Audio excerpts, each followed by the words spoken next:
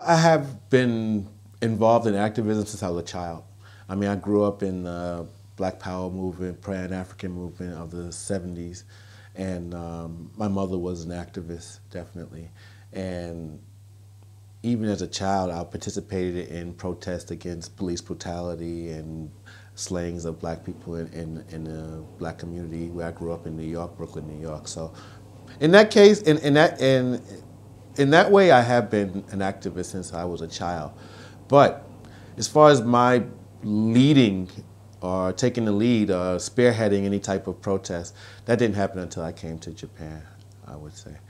Um, and I think, and I didn't realize it at first when I initially started, um, when I initially, when I initially became an activist here in Japan, I wasn't aware of it because actually writing is a form of protest and it's a form of activism. So basically what I was doing with my blog was activism all along. I just wasn't aware of it.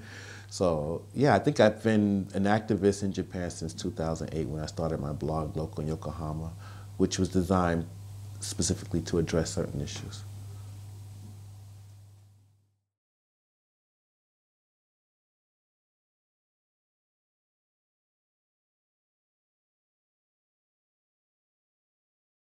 When I first came to Japan, I noticed that they performed in blackface here. And, um, but being that I was a foreigner, I didn't really feel like it was my place to try to tell them, you know, that you shouldn't be doing this. And I didn't really understand the, the heart of why they were doing blackface.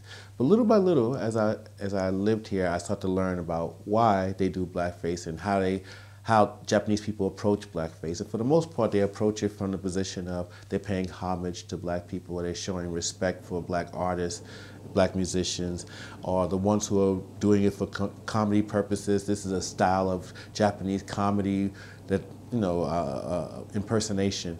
And part of impersonating someone is putting on the full makeup.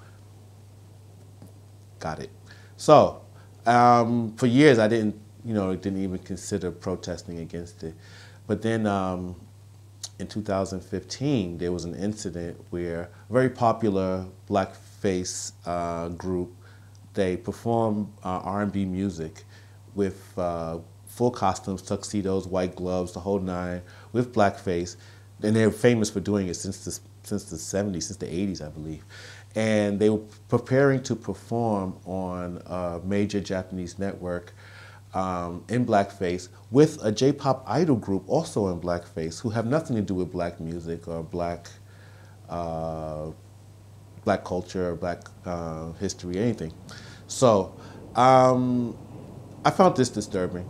I found this troubling, and I, and I knew that it was going to be a hot button issue on in social media once it did take place. So I thought that maybe I should speak up before this goes on air. So I started a, a social media outcry about why they shouldn't do this. I also started a petition. I sent uh, I sent open letters to Michelle Obama, who was en route to Japan at the time. I sent an open letter to the sponsor of the program that was going to air, um, and I started a petition in Japanese targeting Japanese people because I felt like if Japanese people can't support um, this petition, then maybe I'm wrong-minded about even having a problem about it. I felt like, I believed that if Japanese people knew that why this was problematic and why it should be, um, it shouldn't air, they would support it. And they did, to the tune of 5,000, almost 5,000 signatures. And as a result, this major network did not air this blackface program. And um, so yeah, it was a successful um, protest, a su successful petition, and but in the end, there was no public discourse about it whatsoever, um, except among foreigners, which is kind of preachers to the choir, choir talking amongst themselves. I mean, if Japanese are not aware of this, then it's just you know it was a it just it, it, it didn't it didn't pay off the way I would like it to have paid off. It was no surprise that it happened again. A couple years later, there was a, a famous Japanese comedian who performed in, in blackface impersonating Eddie Murphy on a major Japanese network. And um, again, I spoke out about there was the outcry in social media, and but this time it really went global. It got picked up by you know BBC and CNN and HuffPost, and you know just by the global media really embraced this one because this was the number one Japanese program of the year where they did this.